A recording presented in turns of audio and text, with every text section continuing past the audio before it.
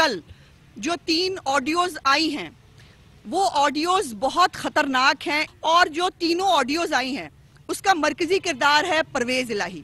और ये वो परवेज इलाही है जिसको एक जो है हम उसको अदालती वज़ीर अला कहते हैं और उसको अदालती वज़ीर अला बनाया गया।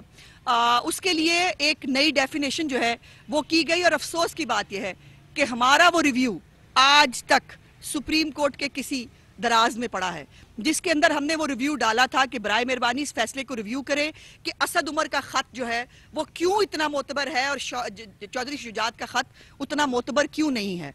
लेकिन अब प्रॉब्लम यह है कि परवेज लाई की जान एक तोते में है और उस तोते का नाम है मोहम्मद खान भट्टी और सुना यह है कि मोहम्मद खान भट्टी जो है, उसके पास, सुना क्या यकीन है? हमें तो पता ही है, मोहम्मद खान भट्टी से ज़्यादा परवेज लाई और मोहन लाई के मामला कौन जानता है? और वो कोई जो है वो कोई शायद इनकशाफात भी कर रहे हैं या करना चाहते हैं।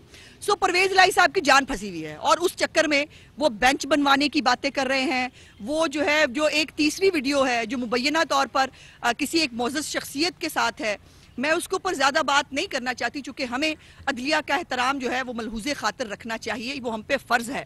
लेकिन क्या इस बात को सिर्फ़ यकसर नज़रअंदाज किया जा सकता है?